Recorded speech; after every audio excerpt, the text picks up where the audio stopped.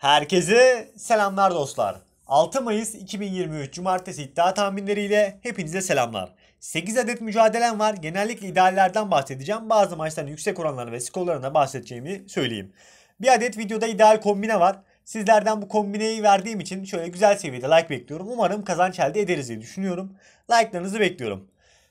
Duyurular, duyurularla başlayalım. Öncelikle Mayıs ayı için katı Telegram gruplarımız yenilendi. Nisan ayı için grupları kapandığı için beni niye attınız oluyor. Atmadık. Gruplar her ay olduğu gibi yenileniyor. Instagram'dan e, mesaj atarak gelebilirsiniz veya katı Telegram gruplarından da bu gruplara tekrardan Mayıs ayı için giriş sağlayabilirsiniz. Bir adet maç skor yarışmamız var. Daha önce yapmış olduğumuz maç skor yarışmasını Emre Dursun kazandı. Instagram üzerinden yazabilir bana. Maç yarışması da Antalya Spor Beşiktaş. Sizce maç ne olur? Sizlere sorduk bilen bir arkadaşımızı Kata Telegram gruplarımıza dahil edelim. Emre arkadaşımız Instagram'dan iletişime geçsin. Kangal Bey olaraktan da. Aynı şekilde gruplara gelmek isteyenler veya ekstra skor bilenler vesaire olduğu zaman da doğrudan iletişim Instagram adresidir. Kangal Bey olarak buradan benimle doğrudan iletişime geçebilirsiniz. Dün yüksek misli ne yaptık? Dün bir adet yüksek misli verdim.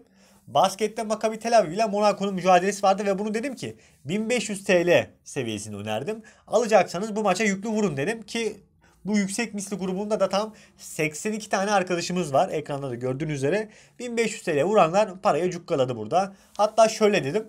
Avrupa oranı güzel. Nesineciler yine burada 3 fark atarak kazanır aldım. Zaten sanırım 30 sayı fark attı. Tel Aviv Monaco'ya o bantlarda olması lazım. Çok rahat kazandı. Hatta ikinci periyot 20 sayılık bir seri yakaladı. Tel Aviv maçı da zaten izledim canlısında yaptık.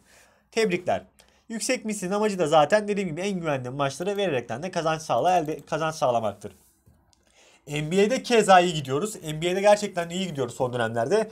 Her gece tek maç oluyor. Tek maça ideal tercih ve Avrupa'dan oynanabilecek tercihler olarak da sıralıyorum açıkçası.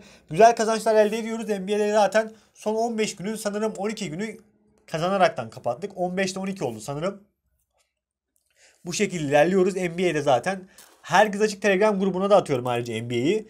Onun da açıklama kısmında ve yorumlar kısmında linki var. 5500 kişi o civarlarda kişi sayısı var.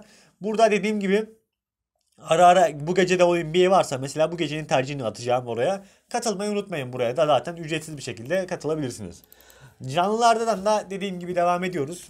Aynı şekilde maçları takip ediyoruz. Gerek basket olsun gerek futbol olsun. Her konuda canlı maçları izleyerekten de ekstradan canlı olaraktan da kazandırmaya devam ediyoruz diyerekten de başlayalım.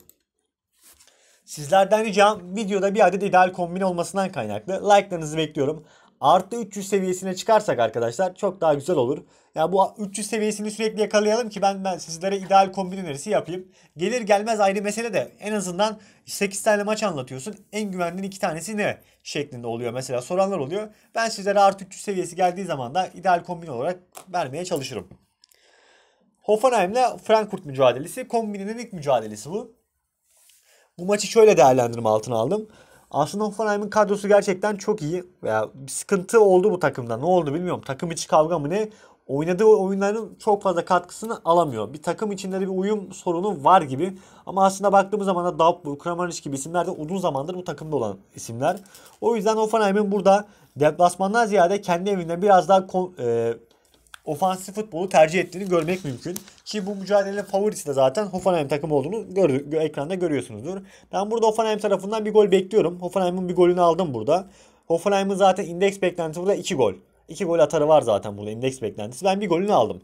Frankfurt'a baktığımız zaman da onlar da burada deplasmanda ki ligde 8-9 maçtır kazanamayan bir Frankfurt takımı var. E, deplasman performansı o kadar çok iyi değil ama en son bir galibiyet aldılar. Bu galibiyet moral olacaktır. Ben burada e, e, özellikle her iki takımın defans hattına baktığımız zaman hatalar bolca gözüküyor. Her iki takım da bu hataları değerlendirebilir. Ben KG var olarak 1.37 gibi orandan idealden aldım. Kombinevlik mücadelesi yaptım. Manchester City ile Leeds United mücadelesi. Bu maçı biraz hızlı anlatayım. City sizin neyini anlatayım ben City'nin. Şöyle arkadaşlar bir Şampiyonlar Ligi mücadelesi olduğu için City bu tür maçlarda genellikle ilk yarıdan fişi çekiyor ikinci yarı. Çok fazla oynamıyor. İlk yarıdan Misli galibiyeti doğrudan alınır bence bu mücadeleye. 1.32 gibi oranı vardı. Oran da 1.31'e düşmüş. Şöyle yaparsınız. 1.50-1.55 bandında bir oran varsa yanına ilk yarı biri de bir koyarsınız. City'nin burada kazanırsınız gidersiniz. Öyle bir düzen olur. Antalya ile Beşiktaş karşılaşması. Beşiktaş'ın oranı 1.81 çünkü Antalya'da son dönemde ufaktan bir hareketlendiğini söylemek lazım ama Doğukan Sinik falan ya bunlarla olur mu? Sezonu yani Doğukan Sinik Larson bence biraz yetersiz kalıyor diye düşünüyorum ben. Ama Hacı gerçekten bitirici bir forvet. Hücum hattında yani rahatsızlık verebilecek bir oyuncu. Orada bir varlığı zaten rakibe rahatsızlık verecekti diye düşünüyorum. Beşiktaş son dönemde bir iğme aldı. Ben şöyle farklı bir tercih yapacağım bu mücadelede. Yine Beşiktaş oynayabilir fakat Antalya'nın da ihtiyacı var biraz. İlk yarı çifte şans. Şöyle bakın ilk yarı 1 veya 2. 1.38 gibi oranı var. İlk yarıda ya Antalya ya da Beşiktaş kazanır diyorum. 1.38 gibi oranı var. Çünkü Antalya tarafından da bir reaksiyon beklenebilir. Onu da belirteyim sizlere. 1.38 gibi orandan öneriyorum. Ama şöyle bir beklentim var. Benim skor beklentim 2-1'lik bir Beşiktaş galibiyeti. Bu 2-1'lik Beşiktaş galibiyetine göre deplasmanda olmasından kaynaklı. Ben şöyle Beşiktaş'ın tek farklı kazanırı. Yani handikap 0 3.63 gibi orandan da Beşiktaş'ın tek farklı kazanırını da sizlere sunmak istiyorum. Liverpool'la Brentford mücadelesi. Liverpool'da bir 9. 10. sıradan direkt 5. sıraya kadar yüksel yükseldi. Arka arkaya alınan galibiyetler ilk dörde girme şansı var bence. Şöyle baktığımız zaman da United'ın bir maç eksiği de olsa Liverpool tüm maçları kazanırsa United'ın takılması olası maçlar bence var. Chelsea maçı falan var. Liverpool son dönemde ivme de aldı. Oynuyor da takım. Burada Brentford'la Brentford'la oynayacaklardır. Brentford takımı kompakt bir futbolu benimseyen bir takım. Ee, Liverpool kalesinde gol bulabilir tabii ki ama ben şöyle bir öneri yapacağım. İlk yerden Liverpool'un atacağı bir gole 1.35 gibi oran açmışlar.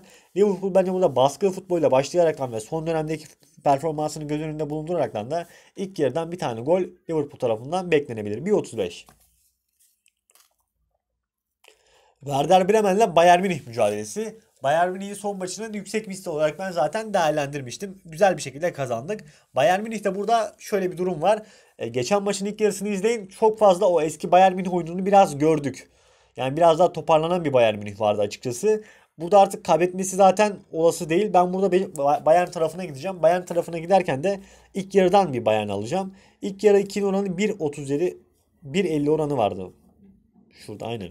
İlk yarının oranı 1.50. Geçen maçta e, ev sahibinin olmasından kaynaklı Hertha Berlin oynadı. İlk yarıda çok fazla pozisyon kaçırdı. Maçı ikinci yarı kopardı. Ama oynadı da kaçırdı yani. Ondan problem yok. Bu maçta bence ilk yarıdan da bir bayan galibiyeti 1.50 gibi orandan değerlendirme altına alınabilir diye düşünüyorum. Kombinemin ikinci mücadelesi Adana Demir ile Alanyaspor mücadelesi. Alanyaspor'un Ömer Hoca geldi. Ömer Erdoğan ilk mücadelesini kazanaraktan da tamamladı. Ümraniye maçını oynadı. Ümraniye 90'da atlı iptal oldu. Offside vesaire derken Ümraniye o maçta iyiydi. Alanya'nın ben bu maçta çok bir şey yapacağını düşünmüyorum.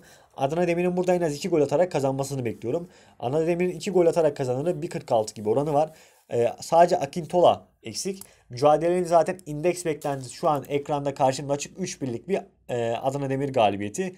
Akintola eksik sadece Adana Demir'de. Efkan Bekiroğlu da Alanya'da sakatla çok önemli bir eksiklik değil bence. Burada Alanya gol atabilir mi? Atabilir fakat ben Adana Demir tarafında olacağımı söyleyeyim. Lans'la Marsilya mücadelesi. Yani son dönem performansına bakılınca Marsilya'nın oynadığı oyun biraz daha öne çıkıyor. Lans son mücadelesini kazandı fakat çok iyi bir futbol sergilemedi. Toulouse mücadelesi vardı. Yani çok iyi bir futbol sergilemedi. Kendi evlerine baktığım zaman da iyi bir takım Lans takımı. Hatta bu sezon sadece bir maç hariç kendi evlerine bütün maçlarda gol bulan bir Lans takım var. Ben Marsilya'nın oyununu biraz daha beğeniyorum. Son dönem futboluna baktığım zaman da Marsilya'nın golünü görüyorum. Lans da kendi evinde biraz daha iyi olduğunu düşünerekten de var seçeneğinin 1.48 gibi orandan değerlendirmesini aldım. Bence gelebilecek maçlardan biri olarak görüyorum bu mücadeleyi de. Son mücadelem Ajax'la Alkmaar mücadelesi. Bu maçı da şöyle değerlendirme aldım. Mücadelenin ben size indeks beklentisini söyleyeyim. Sonra ne vereceğimi konuşalım. Mücadelenin indeks beklentisi Alkmaar'ın deplasmanda 3-2 kazanırı. Bak mücadelenin şu an indeks beklentisi benim bu Avrupa yararlandığım site var. Türkiye'de de yasaklı bu. Avrupa sitesi bu mücadelenin böyle indeks skor beklentisini çıkartıyor bana ki çoğu başarılı oluyor. Benim analizlerimde kullandığım liste 3-2'lik bir Alkmaar galibiyeti bekleniyor ve burada Alkmaar'ın bir golüne 1.30 gibi oran vermişler. Bakın deplasmanın atacağı bir gole 1.30 gibi oran vermişler. Ben burada Alkmaar'ın bir golünü öneririm 1.30'dan. Onun dışında tabii ki Ajax atabilir mi atabilir. Var seçeneğini 1.45'ten değerlendirebilirsiniz. Güzel bir maç olur gibi geliyor bana. Çünkü mücadeleye baktığımız zaman da Ajax Alkmaar'ın önünde. Alkmaar bu maçı yenerse, olası bir deplasmanda galip gelirse Alkmaar Ajax'ı da geçiyor. O yüzden önemli bir mücadele. Kolay kolay salmayacaktır diye düşündüğüm maçlardan birisi. Ajax'ın e, Alkmaar'ın bir golünü alabilirsiniz. Daha idealdir ama biraz daha ideale çıkmak isteyenler varsa KG var seçeneğini bu mücadelede değerlendirme altına alabilirler. Toplamda 8 adet mücadele anlattım. İdeal yüksek oranlardan bahsettim. Ekrana ideal kombin önerimiz gelsin isterseniz. İdeal kombin önerimiz arkadaşlar tam 2 orandan bir kombinedir. Hoffenheim mücadelesine var olarak değerlendirdim 1.37 gibi orandan. Adana Demir Alanya maçına da bir maç sonu 1 ve 1.5 üst olarak değerlendirdim 1.46 gibi orandan.